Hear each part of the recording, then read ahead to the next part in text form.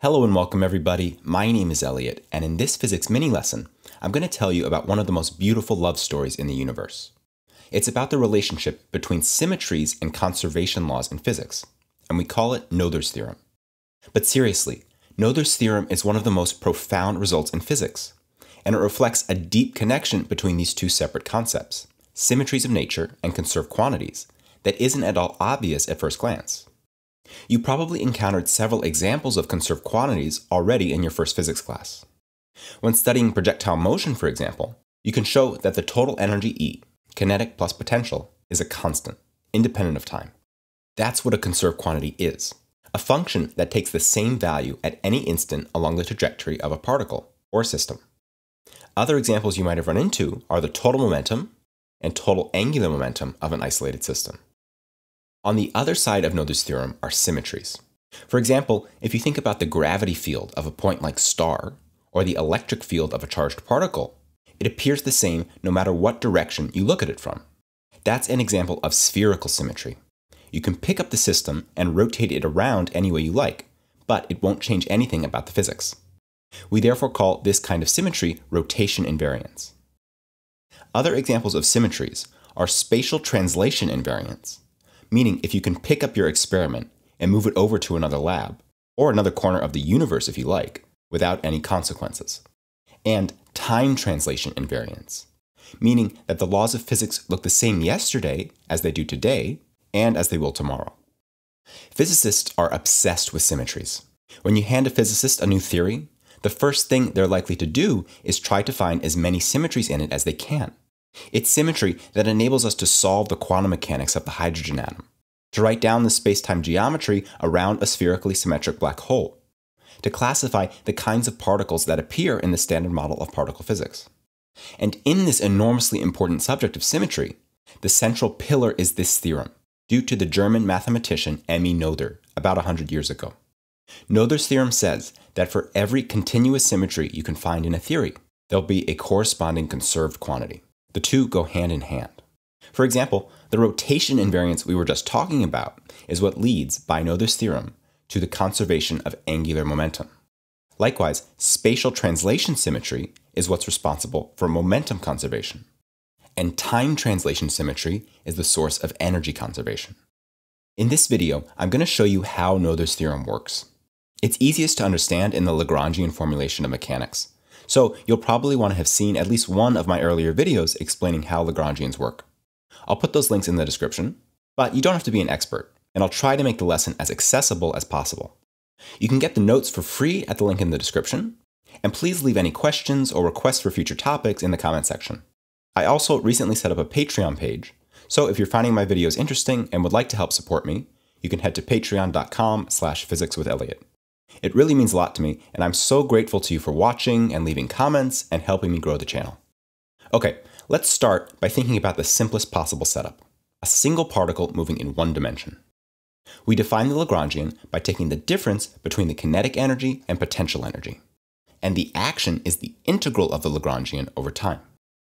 According to the principle of least action, the particle is going to choose the path for which s is minimized, or at least extremized. Let's quickly review how that works, since we're going to follow the same line of reasoning in a second to derive Noether's theorem. So, if we take our physical solution x of t and make a little deformation of it by an infinitesimal function epsilon of t, it introduces some wiggles on top of our curve. Epsilon here is any infinitesimal function of t that vanishes at the starting and ending times.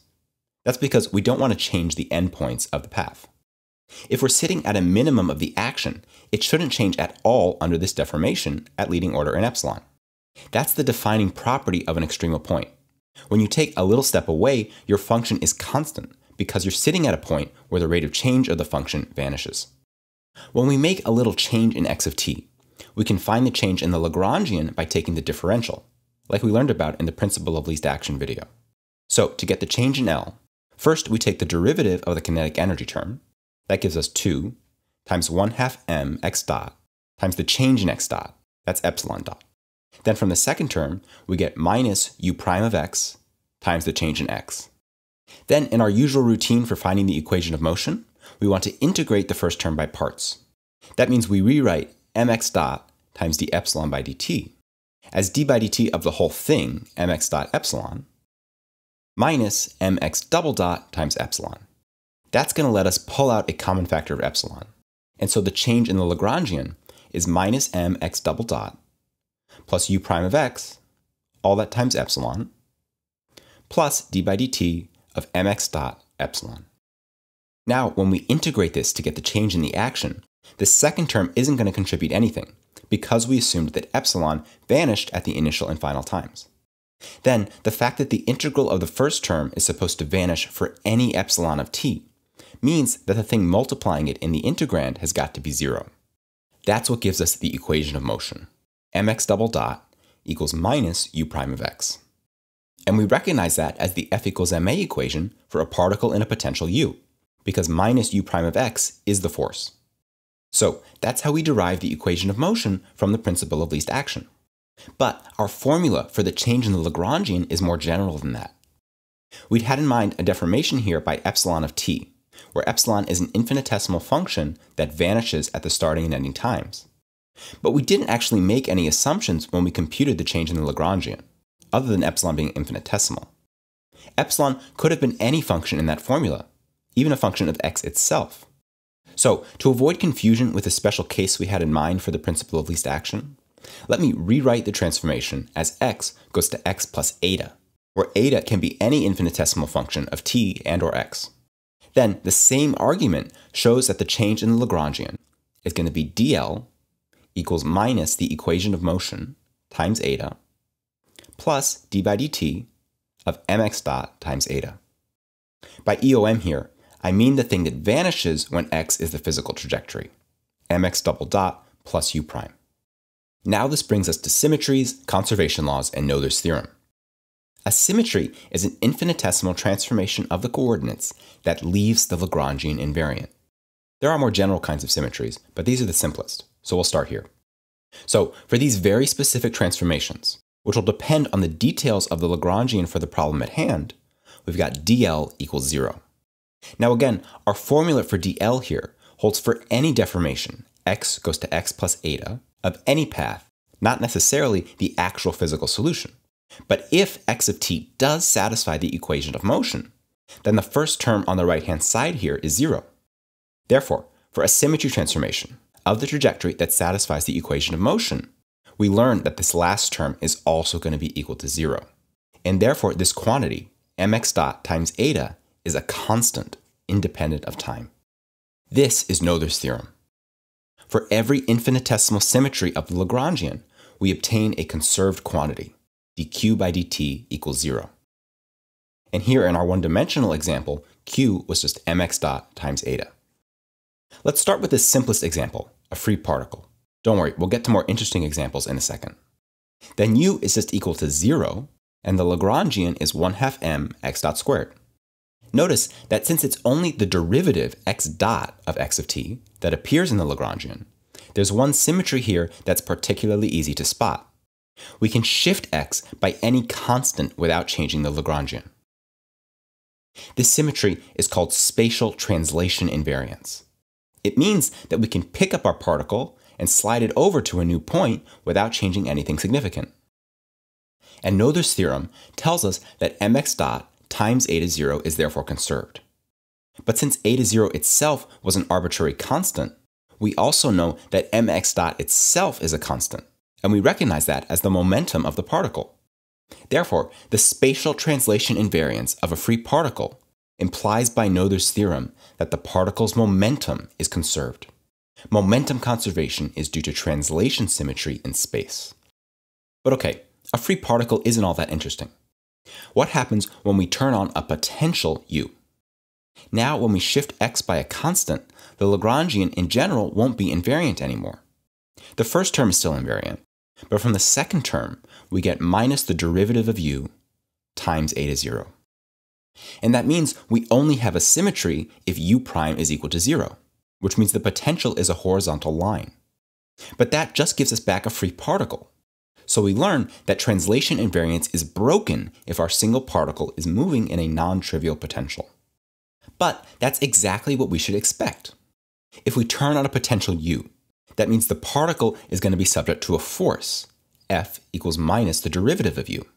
And Newton's second law says that the force on a particle equals the rate of change of its momentum. So the momentum isn't constant anymore because there's a force acting on the particle. To give an example, let's look at the harmonic oscillator potential. U equals 1 half k times x minus L squared. Then this Lagrangian describes a particle attached to a spring. But of course this system isn't translation invariant. If you pick up the mass and slide it around, you'll stretch or compress the spring, and therefore change the system. So there's no translation symmetry, there's a force on the mass, and momentum is not conserved. On the other hand, say we had two masses connected by a spring. Again, if we pick up one of the masses and move it around, we stretch the spring and change the system. But if we pick up the whole system, both masses, the spring, everything, and slide them around without changing their relative positions, then we haven't really done anything. So the system is translation invariant. The Noether's theorem says that the total momentum of the system is conserved, as you should show for yourself by a similar kind of reasoning like we just went through for one particle. And again, that's what we should expect from Newton's law. Remember that Newton's second law for a system says that the total external force equals the rate of change of the total momentum. A system with no external force acting on it is called isolated, and therefore the total momentum of an isolated system is a constant. And indeed, our two masses connected by a spring is an isolated system. There's the spring force acting on the masses, but that's an internal force because it acts between two components of the system. Now let's go back to our one particle mass on a spring example, but this time let's graduate to two dimensions. So picture this as something like a hockey puck on a frictionless ice rink that's attached to a spring that's fixed in the center of the rink. Once again, the momentum is not going to be conserved because the system is not translation invariant. If you try to pick up the particle and slide it around, you'll stretch the spring and change the system. However, if you were to rotate the mass around on a circle, you would keep the length of the spring fixed. So we therefore have rotational symmetry. Let's let x and y be the coordinates of the mass. Then the length of the spring here is x squared plus y squared square root, and so the potential energy is 1 half k times that length minus L squared.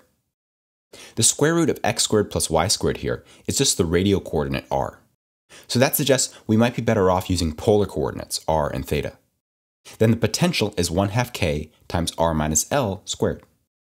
As for the kinetic energy, we're going to get 1 half m times r dot squared, that comes from the radial speed of the particle, plus the angular speed squared, r squared theta dot squared.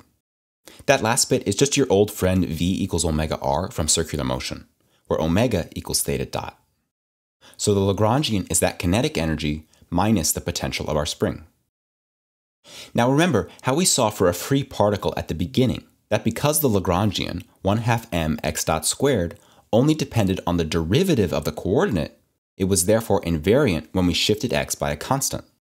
Well, this Lagrangian looks a little more complicated, but notice that there aren't any thetas anywhere, only this theta dot, and therefore we have a symmetry that shifts theta by a constant. This is the rotation symmetry. And indeed, we would have found rotation invariance for any potential that doesn't depend on theta. If the potential is only a function of how far away you are from the origin, then you can rotate around it at will. The same goes for a particle orbiting a star or an electron in the electric field of a proton, for example. You can find the conserved quantity that goes along with this symmetry in the same way that we did for the free particle. And in these kinds of simple cases, you can also see it directly from the Euler-Lagrange equation, which remember was d by dt of dl by d theta dot equals dl by d theta. So whenever a coordinate doesn't explicitly appear in the Lagrangian, the right-hand side of the Euler-Lagrange equation is automatically equal to zero. And so the equation says that dl by d theta dot is a constant. We get dl by d theta dot equals mr squared times theta dot, which you hopefully recognize as the angular momentum of the particle. So the rotational symmetry here means, by Noether's theorem, that the angular momentum is conserved. Likewise, in all of these examples, you can show that time translation invariance is responsible for energy conservation.